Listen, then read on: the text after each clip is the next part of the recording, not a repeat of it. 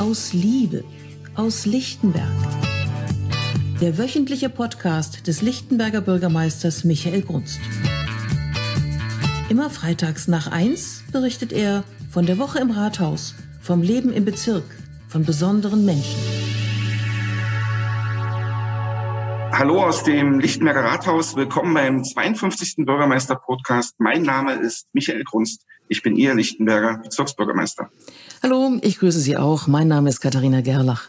Herr Grunst, mit wem sprechen Sie denn heute in der Rubrik Kümmerer und Macherinnen? Heute mit Steffen Reinecke. Er ist Vorsitzender des Bezirkselternausschusses Schule in Lichtenberg. Wir sprechen über Schulplätze und alles, was mit Schule zu tun hat. Es ist ein spannendes Gespräch. Das glaube ich, vor allem, weil morgen ja Einschulung ist und ein ganz aufregender Tag für die Familien. Wie viele Kinder werden eigentlich morgen in Lichtenberg eingeschult? Wir schulen 2800 Kinder in 38 Schulen äh, ein und wir haben auch ein, eine kleine Überraschung für die Kinder, nämlich einen Gutschein für einen kostenlosen Bibliotheksausweis für die Lichtenberger Bibliotheken. Oh, das ist schön. Das ist schon mal ein guter Start. Apropos guter Start, beim Theater Karlshorst, da gibt es ja auch schöne Neuigkeiten, oder? Ja, äh, das Theater Karlshorst wird jetzt äh, saniert. Die Stiftung der HoboG, also die Stiftung Stadtkultur, hat ja dieses Haus übernommen und fängt jetzt an mit der Sanierung und hat vor allem jetzt angefangen, in Karlshorst auch kulturelle Angebote zu machen und Corona-bedingt äh, natürlich draußen, so dass jetzt nicht nur die Theatergasse mit dem Jazztreff äh, auf dem Festplatz Veranstaltungen anbietet, sondern auch die Stiftung Stadtkultur. Also es ist inzwischen eine richtige Kulturmetropole Karlshorst. Schön. Am letzten Wochenende war ja jede Menge los und Sie waren auch viel unterwegs. Ich war viel unterwegs. Ich war am Sonntag äh, unter anderem beim Hohenschönhausener Gartenlauf. Das Highlight und Laufereignis in Hohenschönhausen. Äh, kommen viele äh, Läuferinnen und Läufer aus Berlin. Und organisiert wird dieser Lauf von den Kleingärtnerinnen und Kleingärtnern. Und es ist wirklich fantastisch, mit welchem Ehrenamt und Engagement so eine große Laufveranstaltung auch organisiert wird. Dann war ich beim Sommerfest des Mies van der Rohhaus. Das ist ja eine der wichtigsten äh, Zeugnisse vom Bauhaus mit hier in Berlin. Es steht in Lichtenberg, es ist ein kommunalen Eigentum und wir haben es in den letzten Jahren wirklich gut entwickelt. Insbesondere ist es natürlich dem Förderverein zu verdanken, aber auch der Leiterin, äh, Frau Dr. Noack, die da wirklich geschafft hat, eine weltweite Reputation zu erlangen. Und es hat auch das Wochenende gezeigt. Also da waren Bundestagsabgeordnete wie Frau Dr. Lötsch, Herr Kessler waren da, es waren äh, die ehemalige Kulturstaatsministerin Frau Weiß da und viele, viele andere Gäste. Also es war ein großartiges Sommerfest und es ist einfach schön. Es gab aber nicht nur schöne Veranstaltungen, sondern auch wichtige, zum Beispiel die Mahnwache in der Bernhard-Bestlein-Straße. Aus welchem Grund fand die statt? Ähm, der Anlass war ein abscheulicher. Ein Mann hat eine nicht-binäre Person äh, beleidigt und mit einer Schusswaffe bedroht und zwar menschenfeindlich bedroht. Und das ist schon eine besondere neue Qualität, dass Menschen mit Schusswaffen bedroht werden, nur weil sie einigen äh, offensichtlich nicht in den Kram passen. Und äh, das widerspricht nicht nur jeglichen Gesetzen, sondern es widerspricht auch wirklich äh, unseren moralischen Kompass in Lichtenberg und nicht nur in Lichtenberg, sondern auch Berlin und bundesweit. Denn wir sind vielfältig und die Menschen sollen sich sicher fühlen, egal welche sexuelle Orientierung sie haben, egal aus welchem Land sie kommen. Deswegen verurteile ich diesen Übergriff und wir unterstützen auf jeden Fall die Akteurin der queeren äh, Community äh, solidarisch. Und wir wollen einfach, dass dieser Hass und diese Übergriffe enden. Und deswegen haben wir die Mahnwache gemacht. Dann war ja diese Woche ganz wichtig der Impfgipfel von dem Dienstag statt, mit heftigen Ermunterungen an alle, sich impfen zu lassen. Was halten Sie denn davon, dass alle den Test ab Ende Oktober selber bezahlen sollen? Ähm, ich bin da skeptisch. Erstmal bin ich dafür, wirklich äh, weiter äh, massiv zu, zu werben, dass die Menschen sich impfen lassen. Und ich finde, da darf sich Politik auch nicht so einfach machen, sondern wir müssen jetzt wirklich in die Wohngebiete rein, in die äh, Lebenswirklichkeiten der Menschen und sagen, lass dich impfen und das auch äh, mit äh, wirklich zielgruppengerechten Ansprachen. Und dafür müssen wir werben, weil nur das Impfen wird uns äh, helfen, die Pandemie zu überwinden. Und ich habe die Befürchtung, wenn die Tests jetzt Geld kosten, dass sich manche Leute dann überhaupt nicht mehr testen lassen und wir dann eher eine weitere Dynamisierung des Infektionsgeschehen haben werden. Und deswegen halte ich es für falsch, die Tests bezahlen zu lassen. Ich denke, die Impfung ist die große Lösung, das Werben für Impfen. Und ich kann nur mal zwei Beispiele aus unseren Partnerstädten. Das eine ist Kammerbuchwana nennen. Ähm, die haben da überhaupt keinen Impfstoff. Das sind dramatische Situationen jetzt mit der neuen Welle. Ich habe einen Hilferuf aus Huan Kim äh, bekommen von meinen Amtskollegen, die mich angefragt haben, ob wir Möglichkeiten sehen, ihnen Impfstoff zu liefern. Also während äh, die Länder des globalen Südens wirklich händeringend Impfstoff brauchen, gibt es immer noch Menschen, die sagen, sie lassen sich nicht impfen. Also ich habe einfach wirklich die Bitte, die Skepsis zu überwinden. Man schützt sich selber und vor allem das Wichtigste auch, man schützt andere, indem man nicht selber dann eine Gefahr darstellt. Also lassen Sie sich impfen. Das ist die, der beste Weg, um aus der Pandemie herauszukommen. Hm.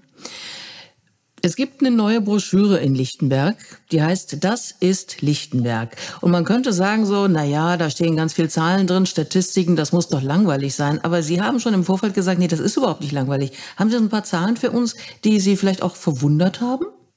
Ja, mich hat vieles verwundert. Also weniger die 80 Sprachen, die in Lichtenberg gesprochen werden, sondern äh, dass wir zum Beispiel auch äh, 90 schottische Hochlandrinder in Lichtenberg haben äh, und verschiedene andere statistische Zahlen. Auch dass 20 Prozent unserer Flächen Grünflächen sind. Das sind ähm, spannende Zahlen, die auch Lust machen, sich weiter zu vertiefen. Und das ist wirklich ein schönes, kurzes und kompaktes Heft über Zahlen und Fakten. Und die Broschüre wird in den öffentlichen Einrichtungen des Bezirks ausliegen, zum Beispiel in Rathaus und Bibliotheken. Werfen Sie mal einen Blick rein und es macht Lust auf mehr. Und auch den Bezirk etwas besser kennenzulernen natürlich und vielleicht auch Neuigkeiten zu erfahren. Sehr schön. Es gab ja den runden Tisch Don Juan Center. Der ist jetzt beendet worden. Was sind denn die Ergebnisse? Wir haben ja den runden Tisch Don Juan Center durchgeführt, weil wir das Don Juan Center als wirklich einen wichtigen äh, Bestandteil hier im Bezirk sehen. Zum einen für die vietnamesische Community, aber weit darüber hinaus. Es kommen ja Menschen inzwischen aus Europa, um das Don Juan Center zu besuchen. Und es ist ja auch das größte Bekannte. Das ist ja sogar noch größer als das in Hanoi. Und ähm, wir sind dabei, äh, eine stadtplanerische Absicherung fürs Dongswan Center vorzunehmen. Da gibt es noch unterschiedliche Vorstellungen, vom, einerseits vom Dongswan Center, die durchaus die bewährte Mischung, die sie haben, auch beibehalten wollen. Und dann gibt es natürlich auch Vorstellungen der Stadtplanung. Das haben wir miteinander verglichen. Wir haben gesagt, was kann ein Weg sein, um das miteinander äh, hinzubekommen. Da gibt es einerseits jetzt den Aufstellungsbeschluss des Bezirksamtes, was sich klar zum Dongswan Center bekennt.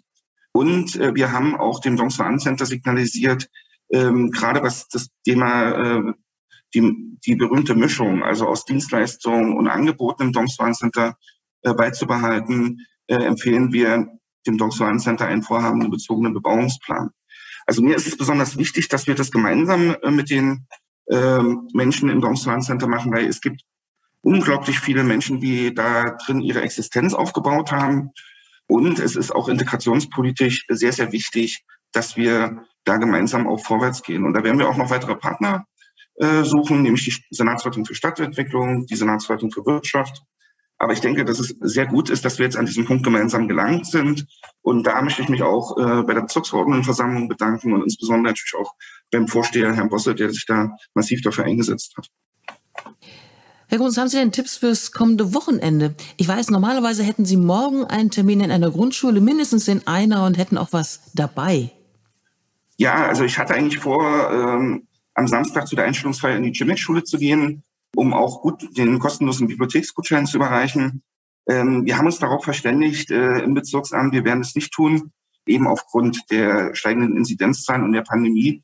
Und ich denke, dass das auch sehr verantwortungsvoll ist. Ich habe auch mit der Schulleiterin gesprochen, äh, und wünsche trotzdem eine wunderbare Einschulungsfeier und dass die 2800 Kinder in unserem Bezirk einen guten Start ins Schulleben haben.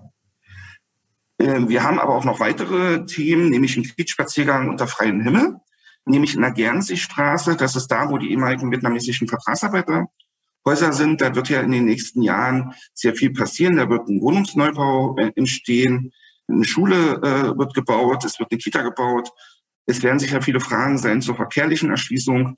Und der Projektentwickler, nämlich Bellopok und Tobogen, machen mit uns gemeinsam diesen Kiezspaziergang. Wir werden natürlich auch ähm, zum alten Dorfkern über die Straße gehen, zur Tapokirche. Und ähm, es gibt abschließend auch noch ein kleines Konzert in der Kirche. Also Sie sind äh, alle herzlich eingeladen. Start ist 10 Uhr und zwar an der Tramstation Gernseestraße. Also wer am Samstag Lust hat und zwei Stunden Zeit, ist herzlich eingeladen, das neue Projekt in Hohenschönhausen sich erklären zu lassen. Und am Sonntag haben wir unseren 20. Familienrenntag. Den veranstaltet das Bezirksamt gemeinsam mit dem Pferdesportpark Berlin-Karlshorst. Es ist freier Eintritt. Ab 12 Uhr sind alle herzlich eingeladen. Ein spannendes Programm mit Kinderfest, mit äh, Pferderinnen. Äh, und ich freue mich besonders auf die Big Band der Schostakowitsch Musikschule. Die äh, Dozentinnen und Dozenten der Musikschule wollen sich einfach bedanken beim Bezirksamt und bei den Menschen im Bezirk, dass sie mit unterstützt wurden, durch die Pandemie zu bekommen. Und dieses Konzert der Big Band ist ein Dankeschön der Dozentinnen und Dozenten der Musikschule. Da merkt man für jeden eigentlich was dabei. Lichtenberg ist ein familienfreundlicher Bezirk. Das sieht man auch wieder genau. an diesem Wochenende. Welche Termine stehen denn für nächste Woche schon fest? Nächste Woche merkt man richtig, dass die Ferien zu Ende sind. Wir haben eine sehr intensive Woche, aber das macht es ja auch schön äh, und spannend äh, im Job. Am Dienstag werden wir eine Gedenktafel einweihen, nämlich eine Erinnerungstafel für Kurt Schneider, welcher von Neonazis ermordet wurde. Ähm, das wird in der Rudolf-Reusch-Straße um 12 Uhr stattfinden am 17.8. gemeinsam mit der Gedenktafelkommission und Antifaschistinnen und Antifaschisten.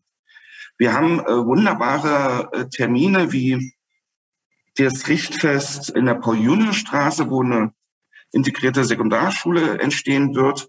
Das ist wirklich äh, wunderbar, so eine Termine, weil es zeigt, dass wir in der Schulbeoffensive nicht nachlassen.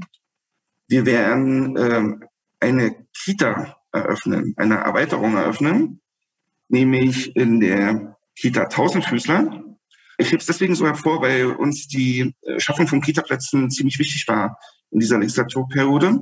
Hier haben wir jetzt zusätzlich 107 Kita-Plätze geschaffen und ich stehe vor der Aufgabe, äh, gemeinsam mit der Jugendsenatorin die größte Kita Berlins damit äh, zu eröffnen. Es werden nämlich 358 Kinder in dieser Kita zukünftig sein. Und trotz der Größe hat diese Kita wirklich ein hervorragendes pädagogisches Angebot so dass jedes Kind sich da drin auch wohlfühlt. Und nicht zuletzt äh, habe ich auch am kommenden Mittwoch, den 18. August um 15.30 Uhr vor Ort äh, beim Verein für aktive Vielfalt in der Lübnitzer Straße meine nächste Bürgersprechstunde. Auch dazu sind Sie herzlich eingeladen. Okay, das ist Mittwoch 15.30 Uhr in der Riebnitzer Straße 1b. Herr Gunst, viel haben Sie vor in der nächsten Woche wir wünschen ein ganz, ganz schönes Wochenende. Uns allen natürlich auch. Und wir denken an die Erstklässler und äh, ihre Familien wünschen einen guten Start. Und mit Schule geht es hier auch weiter. Kümmerer und Macherinnen. Herzlich willkommen zum zweiten Teil des Bürgermeister-Podcasts. Heute im Gespräch Steffen Reinecke. Steffen Reinecke ist Vorsitzender des Bezirkselternausschusses Schule Lichtmerk. Herzlich willkommen, Herr Reinecke. Ja, schönen guten Tag und lieben Dank für die Einladung. Ja, wir haben ja viel miteinander zu besprechen. Es ist ja momentan mehrere Themen, die sich rings um Schule ballen. Aber als allererstes, Herr Reiniger, was ist denn der Bezirkselternausschuss Schule und wie wird man eigentlich Vorsitzender des Bezirkselternausschusses Schule? So, ja, das ist eine gute Frage. Jeder kennt das, die Elternsprecher halt in den Klassen, in den Schulen. In den Klassen gewählt werden ja die Elternsprecher die werden dann gewählt in die Gesamtelternvertretung und aus dieser Gesamtelternvertretung werden dann halt Eltern entsandt in den Bezirkselternausschuss, sozusagen als Bindeglied äh, zu den ja, bezirklichen Belangen halt der Schule. Oh, wie man dazu wird, ist eine gute Frage. Man ist lang Mitglied, äh, hängt sich gut rein und findet auch genug Sachen, wo man sich engagieren möchte und muss. Die gibt es zweifelohne. Und so bin ich dann ja, zum Bezirkselternausschussvorsitzenden wohl gewählt worden. Da sind wir ja gleich beim Thema. Es gibt ja eine ganze Menge Themen, die sich rings um Schule ballen. Das erste ist wahrscheinlich, wo wir ja seit Jahren auch im Gespräch sind und nicht nur im Gespräch, sondern es werden ja auch Schulen gebaut, Schulen vorbereitet. Aber alles kommt natürlich auch für die Eltern, auch für uns als Kommunalpolitik möglicherweise für Lichtenberg zu spät, ist natürlich der Grundschulmangel, Grundschulplatzmangel. Ja, das ist eigentlich auch eine ganz gute Überleitung. Äh, das ist einer der Gründe, weshalb ich mich im Bezirkselternausschuss äh, vielleicht auch etwas mehr engagiert habe. Der Schulplatzmangel, ich konnte ihn sehen, halt an der Grundschule damals meines Sohnes, äh, an vielen anderen Schulen auch. Es gibt eine Schulbauoffensive, es werden auch Schulen gebaut, aber es sind halt viel zu wenige. Also die Berliner Schulbauoffensive und die Schulbauprojekte werden auch gern halt ja, in hohen Tönen gelobt Aber ein bisschen außer Acht gelassen wird der dennoch rasant weiter wachsende eklatante Schulplatzmangel. Also das mag jetzt vielleicht den einen oder anderen verwundern. Den Eltern gar nicht so wichtig ist die Anzahl Schulen, die gebaut werden, sondern halt nachher, dass jedes Kind halt einen Schulplatz bekommt an der Schule, die nicht überfüllt ist. Das denken wir, das fällt häufig halt äh, hinten runter. Also gerade in einem Bezirk, äh, der halt im Beinamen familienfreundlicher Bezirk zu stehen hat, da würden wir uns deutlich mehr erwarten, weil es sind jetzt schon einige Schulen zu fast 200 Prozent belegt. Die Kinder stapeln sich quasi in den Schulen, Kinder werden in Bussen durch halb Lichtenberg geschattelt und immer gerade dort untergebracht, wo man noch ein Plätzchen für sie findet. Einige Kinder sehen in den ersten drei Schuljahren drei unterschiedliche Schulgebäude und das meinen wir, dass so kann es nicht weitergehen und so kann es auch nicht sein. Also ich stimme Ihnen da völlig zu, weil äh, als wir 2017 hier übernommen haben, äh, haben wir jetzt angefangen, die ersten Schulen zu bauen. Aus meiner Sicht äh, hätte die Schulbauoffensive fünf Jahre eher beginnen müssen, weil wir, es war völlig klar, seit 2012 spätestens, dass die Stadt wächst, dass gerade in den Ostbezirken nicht nur massiver Wohnungsbau in Gange ist, sondern auch, dass die Menschen wieder Familien gründen. Und man hätte aus meiner Sicht auch früher starten müssen. Es wird auch eingeräumt äh, von denen, die Verantwortung trugen in der letzten Legislaturperiode. Was mich da dann auch ärgert, ist ja, weil es sind ja gerade die Startbedingungen für die Schülerinnen und Schüler, die ja wichtig sind in, in, dem Zusammenhang. Und wir wissen ja selber, dass erst eine gute Schulbildung eigentlich auch eine gute Ausbildung, ein gutes Studium, äh, möglicherweise einen guten Job äh, ermöglichen. Und es sind ja Dinge, wo wir uns, da haben Sie ja völlig recht, als familienfreundlicher Bezirk äh, das auf die Fahnen schreiben. Insofern kann ich äh, auch den Ärger völlig nachvollziehen, dass gerade was bestimmte Gegenden in Hohenschönhausen, aber auch Karlshaus betrifft, hier wirklich ähm, alles ein bisschen zu spät kommt. Wir reden ja auch nicht nur über die Situation in der Grundschule, sondern offensichtlich ist das Vergabesystem nicht ganz gerecht, wenn ich es richtig verstanden habe, Herr Reinecke. Naja, was heißt nicht ganz gerecht? Es passt einfach nicht mehr in die Zeit, weil das Vergabesystem auf eine Zeit zurückzuführen ist, an der es, in der es genug Schulplätze gab. Und die gibt es halt momentan nicht. Und es kann nicht sein, dass über 300 Lichtenberger Schülerinnen und Schüler den Bezirk verlassen müssen, weil die halt an ihren drei Wunschschulen keinen Platz mehr gefunden haben. Und es ist auch nicht, dass sie dann halt in den Nachbarbezirk kommen. In der Regel sind das halt Bezirke, die halt echt weit weg sind, also deutlich über eine Stunde Fahrzeit pro Richtung. Und dem muss man entgegenwirken. Und da muss in, in, dem Vergabeverfahren was getan werden, damit die Kinder halt doch wohnortnäher halt äh, beschult werden können auch. In der Regel gehen dann äh, viele Eltern dann auch einen Widerspruch über die Schulzuweisung und meistens löst sich das nach vorne auf, was aber auch richtig ist. Ich glaube, dass man hier möglicherweise in der Erfahrung des, des gerade des diesen Jahres berlinweit äh, auch nochmal gucken muss, ob man bestimmte Sachen nachjustiert. Also ich habe ähm, Eltern äh, gehabt, die äh, völlig verzweifelt waren, dass ihr Kind plötzlich nach Charlottenburg muss, weil die Fahrzeit für so ein Kind, was in die siebte Klasse geht, einen 12-, 13-Jährigen ist schon äh, ein ziemlicher Hammer in so einer Situation hilft jetzt auch nicht ähm, in dem Augenblick, dass wir jetzt natürlich äh, jetzt im Sommer den Grundstein legen für eine große ISS und ein Gymnasium in der Allee der Kosmonauten, weil das wird, die wird erst in drei Jahren fertig sein. Also ich glaube, es muss schon wirklich eine Nachsteuerung sein, dass zumindestens wohnortnah dann auch die Schulversorgung insgesamt erfolgt, auch wenn äh, immer wieder hingewiesen wird, dass äh, die erweiterten Schulen ja berlinweit gelten finde ich relativ schwierig. Das will ich ganz offen sagen in der Diskussion. Klar ist, äh, wenn man sich wünscht, in, als Lichtenberger in Spandau in, aufs Gymnasium zu gehen, ist das in Ordnung so. Aber ähm, wenn man es eben nicht wünscht, dann finde ich, äh, sollte man schon die Möglichkeit haben, zumindestens äh, in dem Bezirk oder in angrenzenden Bezirken einen Schulplatz zu bekommen. Ja, es ist ja auch nicht nur äh, der Schulweg an sich, woran die Eltern halt Anstoß nehmen, sondern es ist ja halt auch die gewünschte Schulform, welche die Kinder teilweise nicht bekommen. Das heißt, Kinder, die halt eigentlich auf eine ISS wollten, landen auf einem Gymnasium. Kinder, die auf ein Gymnasium wollten, landen halt irgendwo in Berlin halt auf einer ISS und äh, dann teilweise nicht mal mit gymnasialer Oberstufe. Das äh, wird den Wünschen der Kinder und Eltern in keinem Fall gerecht.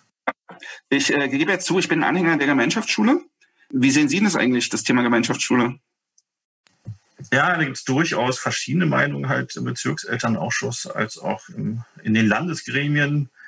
Ich persönlich denke halt, wenn der Bedarf nach Gemeinschaftsschulen da ist und auch von den Eltern, dann sollte, sollte Gemeinschaftsschulen auch nichts im Wege stehen. Das ist auch meine persönliche Meinung. Ich finde es ja gut, wenn äh, Kinder so lange wie möglich gemeinsam lernen. Dagegen spricht ja dann auch nicht ein Gymnasiumbesuch oder eine äh, andere Schulform. Aber ähm, der Grundsatz, äh, finde ich, sollte schon sein, dass Kinder so lange wie möglich gemeinsam in der Schule lernen. Also ich, mir hat es auch nicht geschadet. Ich habe es zur 10. Klasse gemeinsam mit meiner Klasse gelernt. Wenn wir über Schule reden, kommen wir am Thema Pandemie nicht vorbei. Die Pandemie hat ja gerade in den letzten anderthalb Jahren massiv äh, in den Schulalltag eingegriffen. Für so ein Kind sind anderthalb Schuljahre eine ganze Menge Zeit. Wie ist denn die Einschätzung von Ihnen, beziehungsweise auch von den Eltern äh, des Bezirkes? Was ist schlecht gelaufen? Äh, wo muss man nachsteuern? Ja, ich glaube, das Einzige, worin sich alle Eltern einig sind, ist, dass die äh, Pandemie halt bildungstechnisch halt sehr geschadet hat, dass die Kinder doch teils erhebliche Lernrückstände haben. In Bezug auf die Maßnahmen, auf die Corona-Maßnahmen sind die Eltern halt genauso zwiegespalten wie der Rest der Gesellschaft auch. Was wir Eltern uns natürlich gewünscht hätten, ist halt, dass mehr getan wird, halt technisch in den Schulen. Dass man schneller damit gekommen wäre, halt die Schulen dann halt zumindest über Funk halt mit Internet auszustatten. Das hatten wir auch gefordert gehabt als Eltern. Und dass Luftfiltergeräte halt wirklich in allen Räumen stehen, da hat die Senatsverwaltung halt nur äh, ein paar finanziert zuerst. Die hat der Bezirk auch relativ schnell besorgt. Auch Geräte, die durchaus brauchbar sind äh, im Schulalltag. Äh, die Geräte, die jetzt teilweise halt äh, aus, vom Land kommen, halt von der BIM organisiert, die sind teilweise Katastrophen, so laut, dass man sie im Unterricht nicht einsetzen kann. Ja, also Digitalisierung ist halt wirklich ein ganz großes Thema. Das würde auch zur Bildungsgerechtigkeit beitragen, weil es gab Schulen halt, die waren sehr gut ausgestattet, Schulen, die waren weniger gut ausgestattet. Es gab Lehrkräfte, die haben sich richtig reingehängt und äh, Lehrkräfte, denen war das Thema halt bis dahin fremd und äh, haben sich dann halt vielleicht auch ein Stück weniger reingehängt in das Thema. Und je nachdem ist dann halt mehr oder weniger Bildung halt auch bei den Schülerinnen und Schülern angekommen. Und genau, und da wäre es wichtig, halt in Sachen Digitalisierung auch nochmal zu gucken, was kann der Bezirk da tun, ich weiß, dass die Schulleitungen zum Beispiel nicht mal Auskunft darüber bekommen, äh, wie viel Gelder ihnen noch aus dem Digitalpakt äh, zustehen. Das ist auch kein, das, das kann auch nicht sein, weil die Schulen müssen natürlich sehen, dass sie halt irgendwie die Digitalisierung auch für sich an den Schulen vorantreiben. Hm. Oftmals ist ja übrigens ein Problem, dass gar kein schnelles Internet an der Schule anliegt. Also äh, wir haben manchmal die Situation, dass wir über äh, Glasfaser an den Schulen mit den äh, Kommunikationsunternehmen reden müssen. Äh, das gehört ja auch noch mit dazu, dass man eigentlich denkt, mitten in der, in der Metropole Berlin, dass es hier Gebiete gibt, wo kein schnelles Internet vorhanden ist. Das ist ähm, auch manchmal nicht zu fassen äh, in der heutigen Zeit. Und äh, was aber natürlich auch klar ist, äh, dass eine äh, Transparenz dazu gehört, wo äh, die Mittel sind und sind im Vergleich mit den anderen Bezirken ganz gut, was die Ausschöpfung der Mittel für, für den Digitalpark betrifft.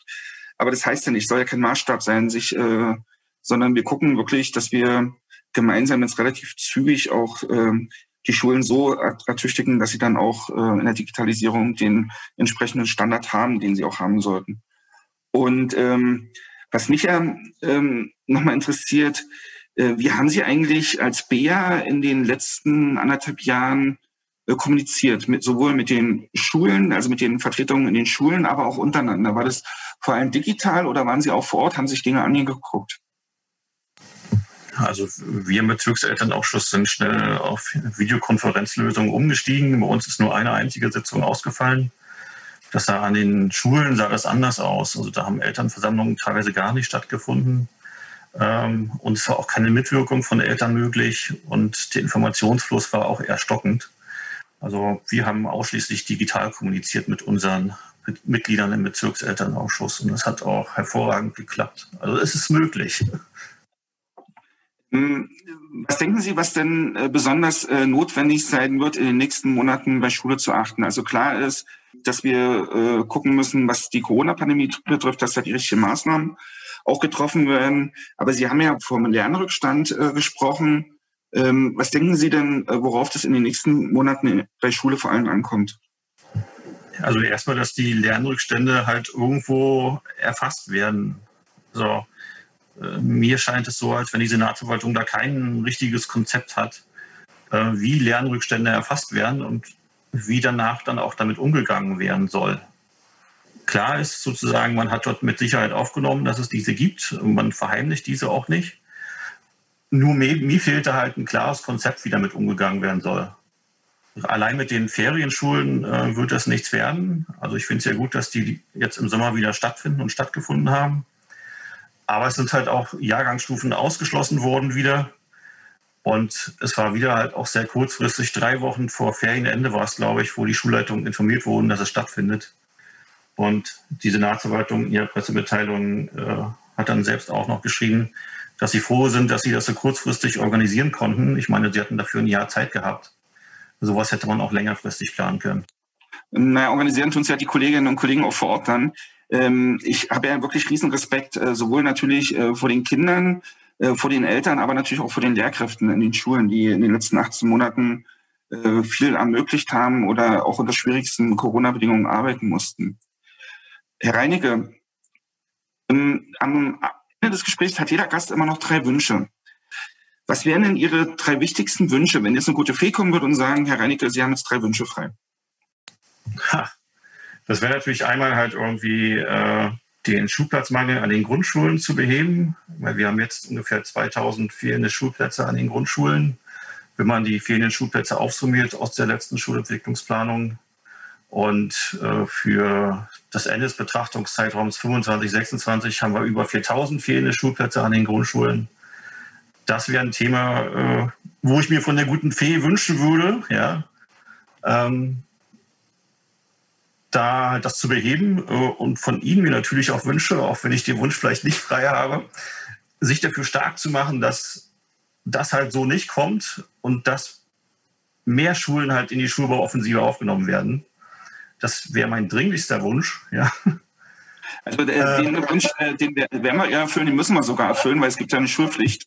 Und äh, insofern ähm, ist es völlig klar, dass äh, bedarfsgerechte Schulen auch gebaut werden müssen. Allein in Katzhorst äh, werden ja vier neue Schulen gebaut. Das ist ja wirklich äh, äh, durchaus äh, sehr anspruchsvoll, was da gerade äh, in die Wege geleitet wird. Und ich weiß auch, aber da sind wir wieder beim Anfang, dass das alles nicht schnell genug geht. Jetzt kommen aber noch die anderen beiden Wünsche. Also den ersten Wunsch, äh, ich denke, der wird erfüllt. Ja, der zweite Wunsch, der hat auch mit den Schulplätzen zu tun. Das ist der Übergang zu den weiterführenden Schulen, dass Schul Schülerinnen und Schüler halt wieder wohnortnäher halt auch an den weiterführenden Schulen untergebracht werden können. Und vor allem halt in der gewünschten Schulform. Und Wunsch Nummer drei, um auch mal was Positives zu nennen, ist, dass die Anstrengungen halt in der Demokratie und Umweltbildung halt in Lichtenberg fortgeführt werden. Da gibt es schöne Projekte, auch durch Mitwirkung von Schulamt, Bezirksamt und vielen anderen Beteiligten in Lichtenberg. Dazu zähle ich jetzt mal den Schülerinnenhaushalt, die U18-Wahl, den Tag der Umweltbildung, finde ich sehr wichtige Themen. Und das sollte man auf jeden Fall beibehalten und vor allem dann halt auch wirklich versuchen, halt noch dafür zu werben, dass es halt allen Schülerinnen und Schülern möglich ist, halt an diesen Projekten auch teilzunehmen. Ja, vielen Dank. Dann schließe ich mich mal den Wünschen an.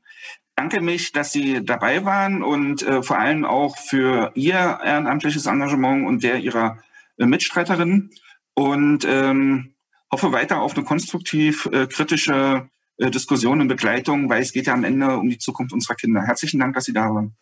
Ebenfalls herzlichen Dank für die Einladung. Das war der wöchentliche Podcast des Lichtenberger Bürgermeisters Michael Grunst. Immer wieder freitags nach 1. Kommentare und Themenvorschläge sind willkommen. Per Mail an pressestelle.lichtenberg.berlin.de oder auf der Facebook-Seite von Michael Grunst. Aus Liebe.